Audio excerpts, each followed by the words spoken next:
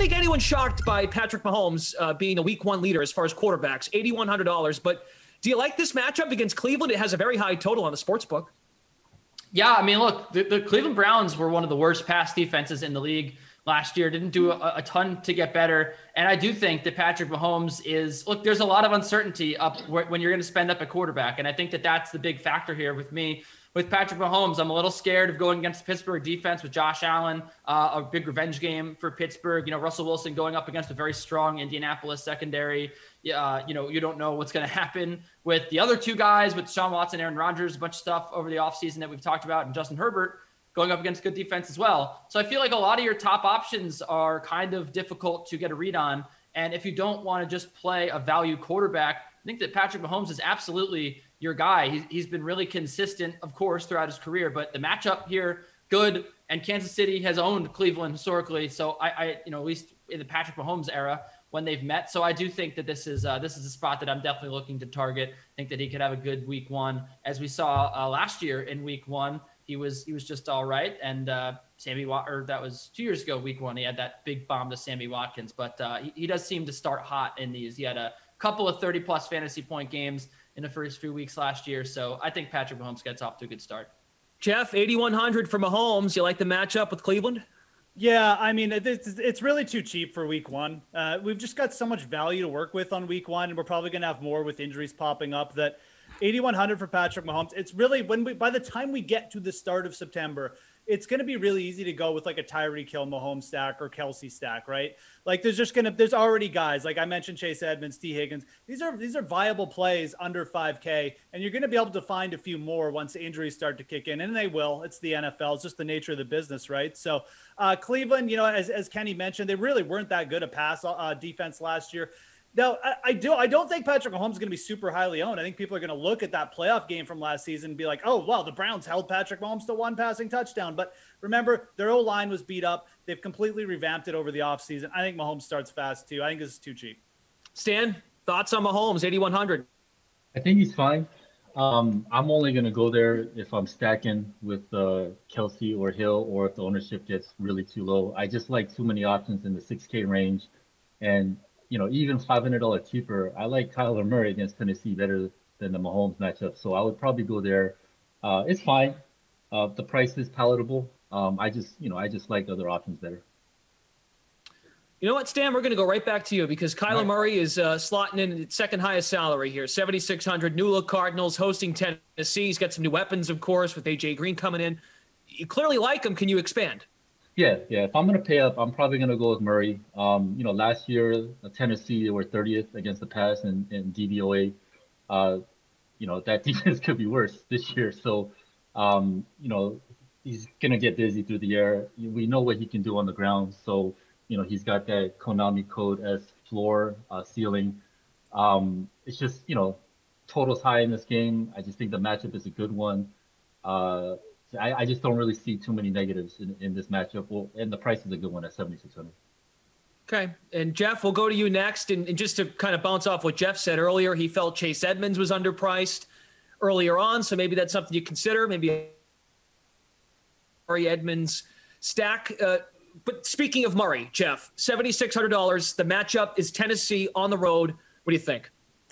Yeah, I mean, I, think that with if you did put Edmonds and Murray in a stack, you might actually be getting access to all the Arizona touchdowns. So it's really not a bad idea. Um, Thank you. These top two quarterbacks that and, and Stan alluded to this.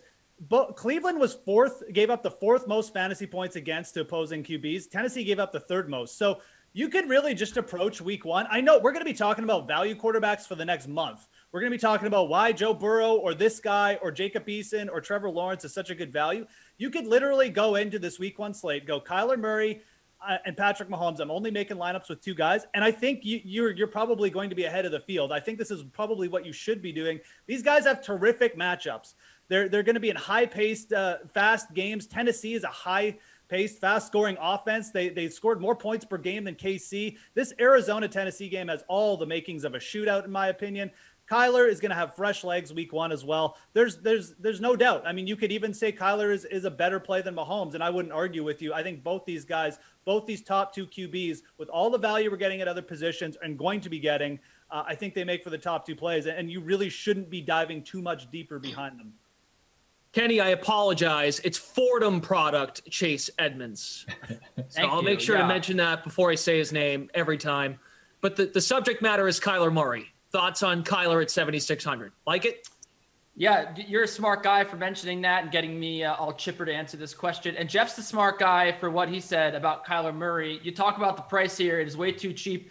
Kyler Murray at the end of last season was clearly dealing with shoulder issues. He could not throw the ball. That second half of the Arizona season was just completely derailed uh, because his, his, you know, that zip was just not there on his pass. And look, he, he's a great, great fantasy player. We know this. He's a great dual threat player. I think that he has uh, he probably has the second most rushing upside in the league after Lamar Jackson. He actually probably has top five throwing upside as well from a fantasy perspective. I'm very excited about buying low on Kyler Murray coming off of a disappointing second half because I think a lot of people, you know, don't really read too much into that shoulder injury. I think it was a big, big deal. And when you talk about the pieces on this offense, you mentioned Chase Edmonds. I think that this is this is a, a dream for Kyler Murray because he's going to have Chase Edmonds on the field, hopefully more if, Kingsbury, if Cliff Kingsbury doesn't Kenyon Drake this situation and give James Yeah. Conner, you know, a timeshare with Chase Edmonds. But if Edmonds is on this field and gets the ball in his hands on passing downs and you know and out of the backfield, I think that this is going to be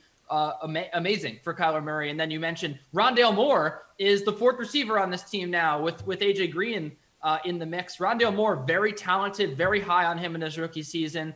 AJ Green, if he's gonna, I mean, he'll be healthy week one, we think, unless he gets injured in training camp in the preseason. This could be really, really special what the Cardinals are able to do on offense.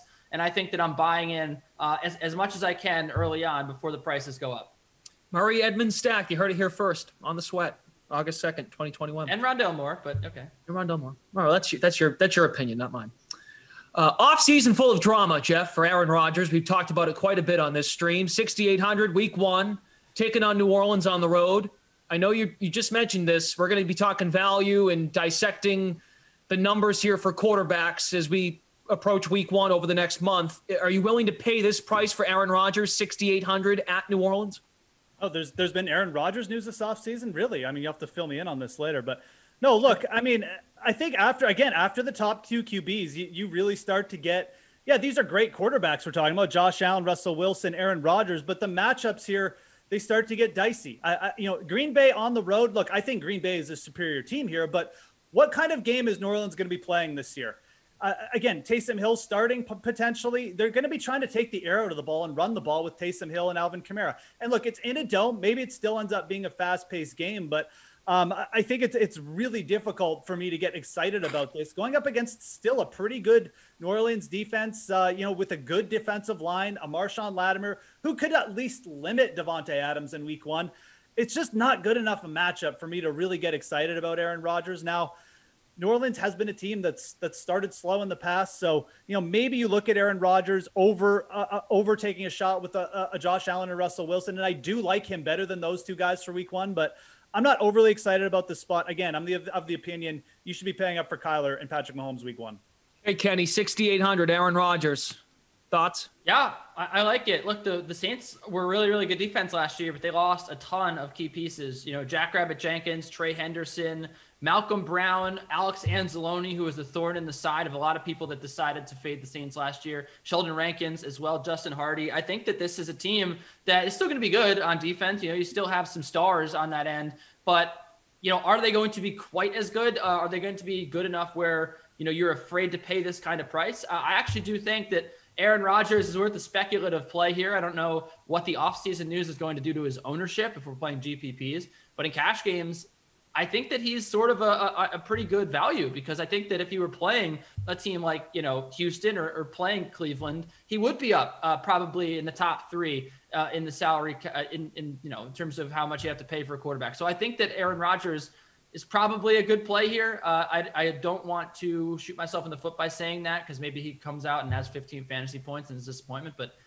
yeah, I mean, why not, right? The the Saints have had a lot of turnover on that team. I think it's going to be an unrecognizable team. So fire him up.